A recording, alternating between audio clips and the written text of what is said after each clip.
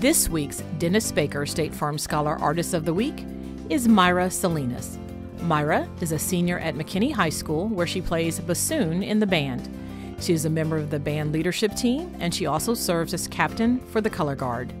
Mayra has been named Outstanding Soloist at UIL Solo Contest and she earned a Division 1 on her Class 1 solo.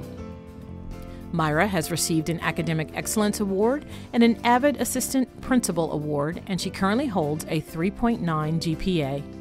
Mayra is a member of Avid, Spanish Club, Key Club, and she provides translation for an ESL student. In her free time, Mayra volunteers at St. Michael's Church and other community events.